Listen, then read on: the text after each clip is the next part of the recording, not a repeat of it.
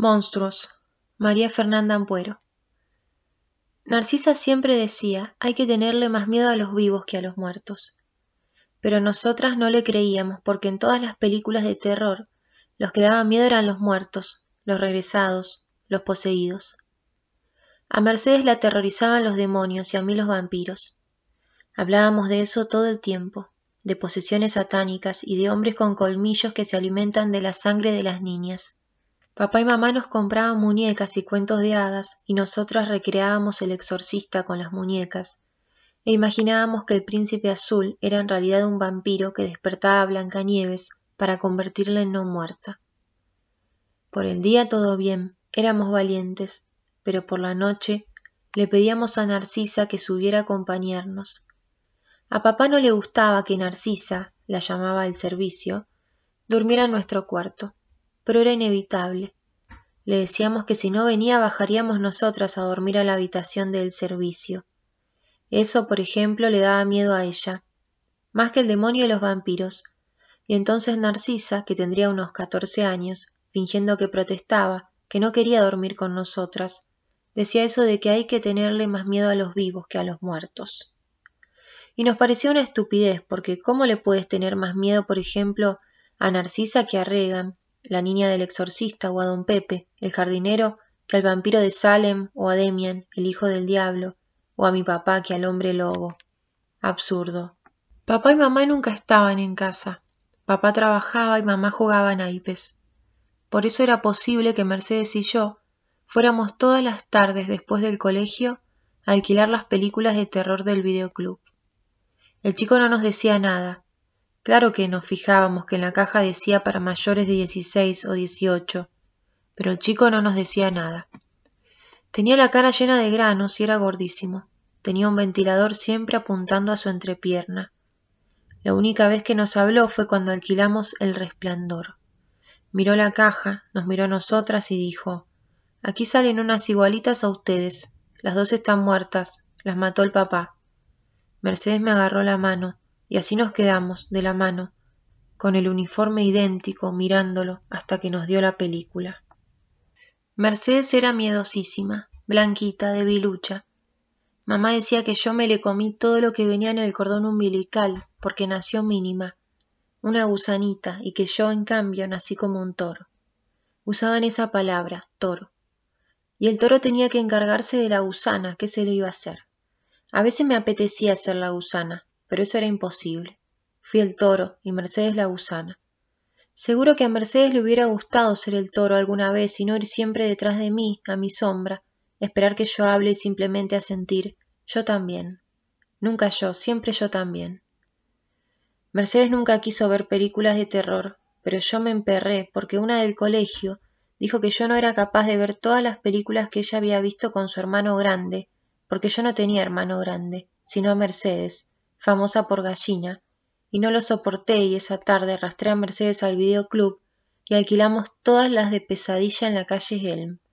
Y esa noche y las siguientes tuvimos que decirle a Narcisa que subiera a dormir con nosotras porque Freddy se te mete en los sueños y te mata en los sueños y nadie se entera porque parece que tuviste un infarto o te ahogaste con tu baba. Algo normal, y entonces nunca nadie se entera de que te mató un monstruo con los dedos de cuchillos afiladitos. Tener ciertos hermanos es una bendición. Tener ciertos hermanos es una condena. Eso aprendimos en las películas, y que siempre hay un hermano que salva al otro.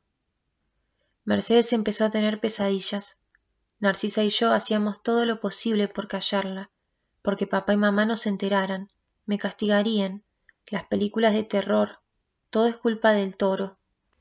Pobre gusanita, pobre Merceditas, qué cruz ser hermana de semejante bestia, de una chica tan poco chica, tan indomable. ¿Por qué no eres más como Merceditas, tan dulce, tan calladita, tan dócil? Las pesadillas de Mercedes eran peores que cualquiera de las películas que veíamos. Tenían que ver con el colegio, con las monjas, las monjas poseídas por el diablo, bailando desnudas, tocándose ahí abajo, apareciéndose en el espejo mientras te estabas lavando los dientes, o cuando te duchabas. Las monjas como Freddy metías en tus sueños, y nosotras no habíamos alquilado una película de eso.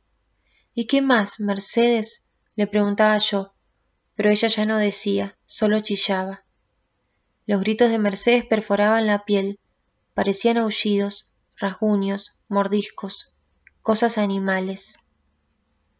Cuando abría los ojos todavía seguía allí, donde sea que fuera allí, y Narcisa y yo la abrazábamos para que volviera, pero a veces tardaba muchísimo en volver y yo pensaba en que, otra vez, como cuando estábamos en el vientre de mamá, le estaba robando algo. Mercedes empezó a ponerse flaquita. Éramos iguales, pero cada vez menos, porque yo cada vez era más toro, y ella cada vez más gusanita, ojerosa, jorobada, huesuda. Yo nunca le tuve demasiado cariño a las hermanas del colegio, ni ellas a mí, quiero decir, nos detestábamos. Ellas tenían un radar para las almas díscolas, esa frase utilizaban, y yo era de eso, pero no me importaba. Díscola sonaba a disco y a cola, las dos cosas me encantaban. Cuando abría los ojos todavía seguía allí, donde sea que fuera allí, y Narcisa y yo la abrazábamos para que volviera pero a veces tardaba muchísimo en volver y yo pensaba en que otra vez, como cuando estábamos en el vientre de mamá, le estaba robando algo. Mercedes empezó a ponerse flaquita. Éramos iguales, pero cada vez menos, porque yo cada vez era más toro y ella cada vez más gusanita, ojerosa, jorobada, huesuda. Yo nunca le tuve demasiado cariño a las hermanas del colegio ni ellas a mí, quiero decir, nos detestábamos. Ellas tenían un radar para las almas díscolas. Esa frase utilizaban. Y yo era de eso, pero no me importaba. Díscola sonaba a disco y a cola. Las dos cosas me encantaban. Yo odiaba su hipocresía. Eran malas e iban de buenas. A mí me mandaban a borrar todos los pizarrones del colegio, a limpiar la capilla, a ayudar a la Madre Superior a hacer su beneficencia, que no era más que repartir lo que daban otros, nuestros padres, a los pobres, o sea, intermediar para quedarse con un buen pellizco, comer pescado del bueno y dormir en edredón de plumas. Lo mío era castigo tras castigo, porque yo preguntaba que por qué a los pobres les daban arroz mientras ellas comían corvina, y decía que eso a nuestro señor no le hubiera gustado, porque él hizo los peces para todos. Mercedes me apretaba el brazo y se ponía a llorar. Mercedes se hincaba y rezaba por mí con los ojos cerradísimos. Parecía un angelito. Mientras ella rezaba el Ave María, a mí me daban ganas de hacer que todo se parara por completo, porque me parecía que el rezo de mi hermana era lo único que valía la pena de todo el hijo de puta mundo. Las monjas decían a mis padres que mi hermana era perfecta para formar parte de la congregación, y yo me la imaginaba encerrada en esa vida como una cárcel de ropa horrible y grillete de crucifijo grandote. No lo podía soportar. Esas vacaciones nos vino la regla, primero a Mercedes, luego a mí, Narcisa fue quien nos explicó lo que había que hacer con la compresa porque mamá no estaba y se rió cuando empezamos a caminar como patos. También nos dijo que esa sangre significaba ni más ni menos que con la ayuda de un hombre ya podíamos hacer bebés. Eso era absurdo. Ayer no podíamos hacer una cosa tan demencial como crear a un niño y hoy sí. Es mentira, le dijimos. Y nos agarró a las dos del brazo. Las manos de Narcisa eran fuertes, grandes, masculinas, las uñas largas y en punta, eran capaces de abrir botellas de refresco sin necesidad de destapador. Narcisa era pequeña de tamaño y de edad, apenas dos años mayor a nosotras, pero parecía haber vivido unas cuatrocientas vidas más. Nos estaba haciendo daño cuando dijo que ahora sí que teníamos que cuidarnos más de los vivos que de los muertos, que ahora sí que teníamos que tenerles más miedo a los vivos que a los muertos. Ahora son mujeres, dijo, la vida ya no es un juego. Mercedes se puso a llorar. No quería ser mujer, yo tampoco, pero prefería ser mujer que toro. Una noche Mercedes tuvo una de sus pesadillas. Ya no eran monjas, sino hombres, hombres sin cara que jugaban con su sangre menstrual y se la frotaban por el cuerpo, y entonces aparecían por todos lados bebés monstruosos, pequeñitos como ratas, a comérsela a bocaditos. No había manera de tranquilizarla. Fuimos a buscar a Narcisa, pero la puerta del garage estaba cerrada por dentro. Escuchamos ruidos, luego silencio, luego otra vez ruidos. Nos quedamos sentadas en la cocina oscuras esperándola. Cuando por fin se abrió la puerta nos abalanzamos sobre ella. Necesitábamos tanto su abrazo, sus manos siempre con olor a cebolla y a cilantro, su frase sanadora de que había que tenerle más miedo a los vivos que a los muertos. A unos centímetros de su cuerpo nos dimos cuenta de que no era ella.